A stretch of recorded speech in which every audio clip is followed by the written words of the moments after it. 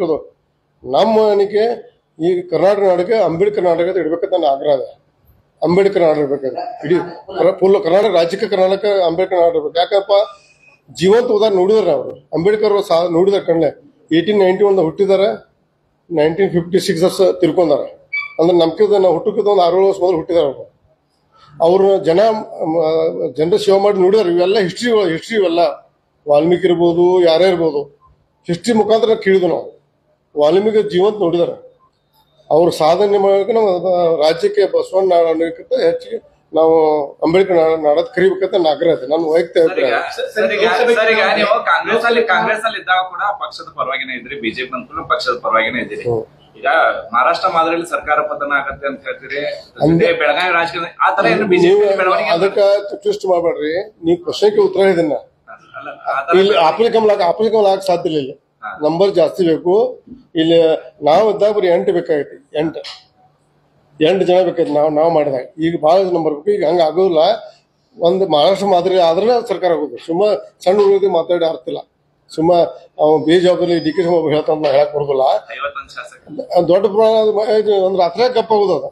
ಹಂಗೇನು ಒಂದು ಅವರು ಪ್ಲಾನ್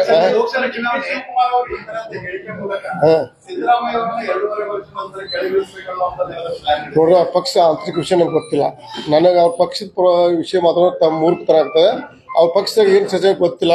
ಅದು ನೀನು ಹಿರಿಯರು ವೀರಪ್ಪ ಮೊಯ್ಲಿ ಅವರು ಹಿರಿಯ ಅವರು ಅಂತ ಚರ್ಚೆ ಇಲ್ಲ ಅಂದ್ರೆ ಅಂದ್ರೆ ಅದ್ರ ಅದು ಸುಳ್ಳು ಹತ್ತಿರ್ಬೇಕು ಡಿ ಕೆ ಶಿವಕುಮಾರ್. ರಮೇಶ್ ಜಾರಕಿಹೊಳಿ ಅವರು ಈ ಹಿಂದೆ ಒಂದು ಮಾತು ಹೇಳಿದ್ರು.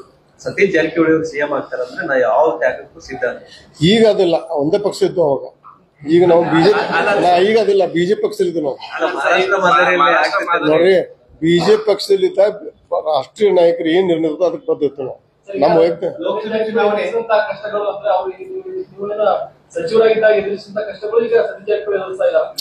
ಇಲ್ಲ. ಅದೇನಾಗುದಿಲ್ಲ. ಒಂದು ಹೇಳ್ತೀನಿ ಅತಿ ಶೀಘ್ರದಲ್ಲಿ ಡಿ ಕೆ ಶಿವಕುಮಾರ್ ಮಾಜಿ ಮಂತ್ರಿ ಹಾಕಾರ ಅತಿ ಶೀಘ್ರದಲ್ಲಿ. ಮಾಜಿ ಮಂತ್ರಿ ಹಾಕಲ್ಲ. ಅವ್ರಿಗೇನ್ ತ್ರಾಸ ಅವರು ಸತೀಶ್ ಅವರು. ಇಲ್ಲ ಇಲ್ಲ ಅತಿ ಶೀಘ್ರದಲ್ಲಿ ಮಾಜಿ ಮಂತ್ರಿ ಹಾಕಾರ ಸತೀಶ್ ಜಾರಕಿಹೊಳಿ ಅದೇ ನನಗೆ ತ್ರಾಸ ಆದಂಗೆ ಆಗೋದಿಲ್ಲ. ಏನ್ ಜೈಲಿಗೆ ಹೋಗ್ತಾರ ಸರ್? ಯಾವುದೇ ಗೊತ್ತಿಲ್ಲ ಮುಂದಿನ ದಿನ ಗೊತ್ತಾಗುತ್ತೆ. ಅತಿ ಶೀಘ್ರದಲ್ಲಿ ಹಾಕತ್ತ ನಮ್ಗೊಂದು ನಮ್ಮ ರಾಜಕೀಯ ಈ ವ್ಯವಸ್ಥೆಯಿಂದ ನಮ್ಗೆ ಗೊತ್ತಾಗಿದೆ ಅವ್ರ ಮಾಜಿ ಮಾಜಿ ಬೇಕಾಗುತ್ತೆ. ಇಲ್ಲ ಏನಾಗ ಇವತ್ತು ದಿನನಿತ್ಯದಲ್ಲ ಮತ್ತೆ ಹೈಕೋರ್ಟ್ ಹಿನ್ನಡೆ ಎಲ್ಲ ಗಂಟೆ ಪೇಪರ್ ಓದಲ್ವಾ? ಯಾಕೆ ನೋಡಿ ಅಲ್ರಿ ಒಂದ್ ರೂಪಾಯಿ ತಿಂದ್ರೆ ಮನುಷ್ಯ ಒಳಗ ನಲವತ್ತು ನೂರು ಕೋಟಿ ಮತ್ತೆ ಸಿಕ್ಕಾಪಟ್ಟೆ ಸಾವಿರಾರು ಕೋಟಿ ಒಂದ ಐದು ವರ್ಷ ಐದೈದು ನೂರು ಕೋಟಿ ಜಂಪ್ ಆದ್ರೆ ಎಲ್ಲಿ ತೋರಿಸ್ಬೇಕಾಗ್ತಾರ ಆಯ್ತು. ಮತ್ತು ನಿಮ್ಮ ಬಗ್ಗೆ ವಿಶೇಷ ಕಾಳಜಿ ಸರ್ ಡಿ ಇರ್ಲಿ ಬಾಳ ಅದ್ ಪಾಪ ಒಳ್ಳೆ ಹಳಿ ದೋಸ್ತಿ ಇದೆ. ಆತರ ಸರ್ ಲಕ್ಷ್ಮೀ ಅವರು ನಿನ್ನೆ ಒಂದು ಮಾತು ಹೇಳಿದ್ದಾರೆ. ಬೆಳಗಾವಿಯಲ್ಲಿ ನನ್ನ ಸೊಲ್ಸಕ್ಕೆ ಐದ್ ಸಾವಿರ, ಆರ್ ಸಾವಿರ ರೂಪಾಯಿ ಒಂದೊಂದು ಒಟ್ಟಿ ಕೊಡಾಕ್ ಬಂದ್ರು. ಆದ್ರೆ ಮತದಾರರ ತಕ್ಕ ಉತ್ತರ ಕೊಟ್ಟಿದ್ದಾರೆ. ಯಾರ ಆಟನೂ ನಡೀಲಿಲ್ಲ. ಇಲ್ಲ, ಅದ್ ನೋಡ್ರಿ, ಅವ್ರು ಗೆದ್ದಾರ ಸ್ವಾಗತ. ಅವ್ರು ಗೆದ್ದ ಸ್ವಾಗತ. ಆದ್ರೆ ನಮ್ಮ ಕೆಲವೊಂದು ತಾಂತ್ರಿಕ ತೊಂದರೆಯಿಂದ ನಾವು ಫೇಲ್ ಆಗಿದ್ವಿ. ಅದನ್ನ ಈಗ ರಾಜಕೀಯ ಇಲ್ಲಿ ಹೇಳ್ಬಾರ್ದು ಮಾಧ್ಯಮ ಮುಖಾಂತರ.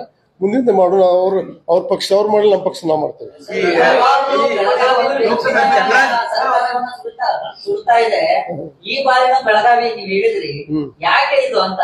ಇಲ್ಲ, ಅದು ನೀವೇ ವಿಚಾರ ಮಾಡ್ಬೇಕು ನಾವು ನಮ್ಮ ಬಾಯಿಗೆ ತೇಬಾರ್ದು ನೀವೆಲ್ಲ ಮಾಡ್ಬೇಕು, ನೀವು ನೀವು ಎಲ್ಲ ಶೇಪ್ ಆಗಿ ನಮ್ಮನ್ನೆಲ್ಲ ಹತ್ರ ಶಿಕ್ಷಿಸ್ಬಾರ್ದು ನೀವು ಮಾತಾಡ್ಬೇಕು ಅದಕ್ಕೆ ಅನ್ನೋದು ನೀವು ವಿಶ್ಲೇಷಣೆ ಮಾಡ್ಬೇಕು. ಎಲ್ಲ ಇಡೀ ರಾಷ್ಟ್ರದ ಜಗತ್ತು ಜಗತ್ತೇ ಹೇಳ್ತದೆ ವಿಶ್ಲೇಷಣೆ ಮಾಡಿದ್ರೆ ಇದು ಹೇಳಬೇಕು.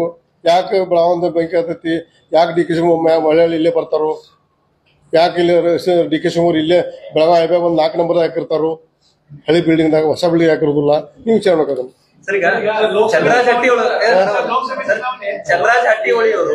ಎಲೆಕ್ಷನ್ ಗೆದ್ದ ದಿನ ಒಂದ ಮಾತು ಹೇಳಿದ್ರು. ಗೋಕಾಕದಲ್ಲಿರುವಂತ ಅಕ್ರಮವನ್ನ ಇನ್ನು ಮುಂದೆ ಹೊರಗೆ ತೆಗಿತೀವಿ. ಗೋಕಾಕ್ ಪರಿಸ್ಥಿತಿ ಏನದ ಅನ್ನೋದು ಬಹಿರಂಗ ಮಾಡ್ತೇವೆ ಅನ್ನುವಂತ ಮಾತು. ಮತ್ತೆ ಇಟ್ಟು ಹಾಕಬಹುದು ಒಂದು ಆರು ತಿಂಗಳ ಮಾಡ್ತೇಳ. ಪಾಪ ಅವ ಅವ ಅವನ ಲೆವೆಲ್ ಅಲ್ಲಿ ಪಾಪ ಅವನ ಅವನ ಬಗ್ಗೆ ಮಾತಾಡ್ರ ಅವ ಉತ್ತರ ಕೊಡೋದಿಲ್ಲ ಅವ ಅವನ ಬಗ್ಗೆ. ಅವ್ ಅವ್ನು ಅವ್ನ ನಮ್ಮ ಲೆವೆಲ್ ಅಲ್ಲಿ ಅವ್ನು ಮಾತಾಡಿದ್ರು ಅವ್ ಎಷ್ಟು ಮಾತಾಡೋ ಮಾತಾಂಗಿಲ್ಲ ಆ ಬಾಗಲಕಾಯಿ ಅಂತ ಹೇಳಿದಿಲ್ಲ ಅಂದ್ರೆ ಅದ್ರ ಮೇಲೆ ತಿಳ್ಕೊಂಡ್ಬಿಟ್ಲ. ಆತಲ್ಲ ಮುಗಿತಿಲ್ಲ